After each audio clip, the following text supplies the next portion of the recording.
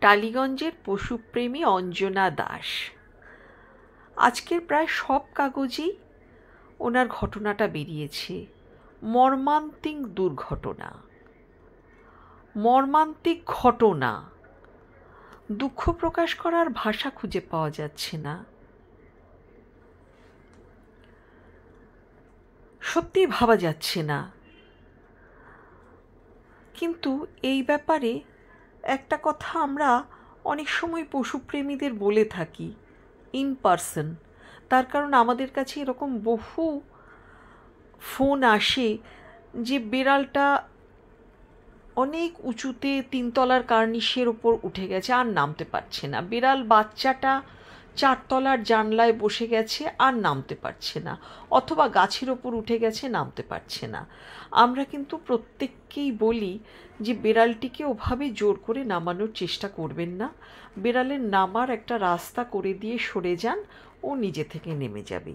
কিন্তু এটা আমরা সাধারণত ইন পার্সনই বলে থাকি, আমাদের কাছে যখন ফোন আসে।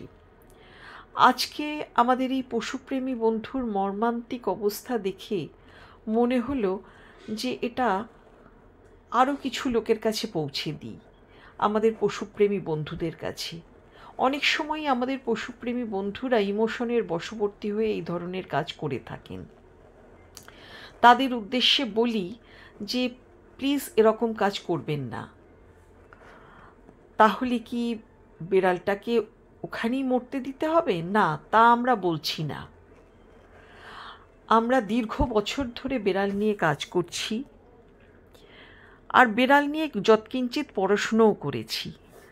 এই যৎকিঞ্চিত পড়াশুনো আর কাজের দীর্ঘ অভিজ্ঞতা থেকে এটা জানাচ্ছি যে বেড়াল অত্যন্ত ভীতু আর সেন্সিটিভ এবং বেড়াল নিজের জায়গা থেকে সরে গেলে তখন কিন্তু চেনা মানুষকেও অচেনা দেখি।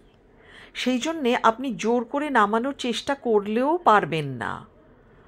আপনি ধরার আগেই ও এদিক ওদিক পালিয়ে যাবে। সেটা কিন্তু আপনার জন্যে কিংবা বেড়ালটির জন্যে, কারুর জন্যেই ভালো নয়। যদি বেড়াল এরকম কোনো দুরূহ জায়গায় গিয়ে বসে পড়ে, তাহলে ডিজাস্টার ম্যানেজমেন্টের লোকের সহায়তা নিন। ডিজাস্টার ম্যানেজমেন্টের লোককে দিয়েও ধরানোর চেষ্টা করাটা ঠিক নয়।